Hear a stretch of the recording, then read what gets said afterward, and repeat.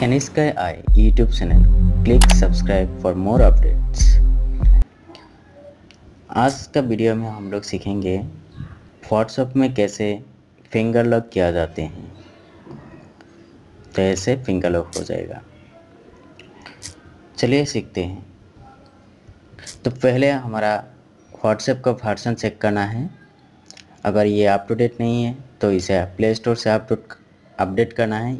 और नहीं तो व्हाट्सएप का बेटा वर्सन गूगल सर्च करके डाउनलोड कर लेना है। क्योंकि ये फिंगर लॉक फैसिलिटी सिर्फ़ अपडेटेड वर्सन में ही दिया जाते हैं। चलिए अब फिंगर लॉक सेट करते हैं। बैक कीजिए। फिर सेटिंग्स में जाना है। अकाउंट्स में जाना है। और यहाँ प्राइवेसी में क्लिक करना है। नीचे देखिए फिंगर लॉक ऑप्शन डिजेबल्ड है। उसे एनाबल करना है। क्लिक कीजिए। अभी फिंगर लगाना है।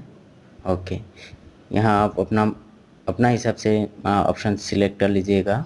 मैं इमीडिएटली दिया हूँ और शो कंटेंट इन नोटिफिकेशन ये डिजेबल कर दिया मैंने।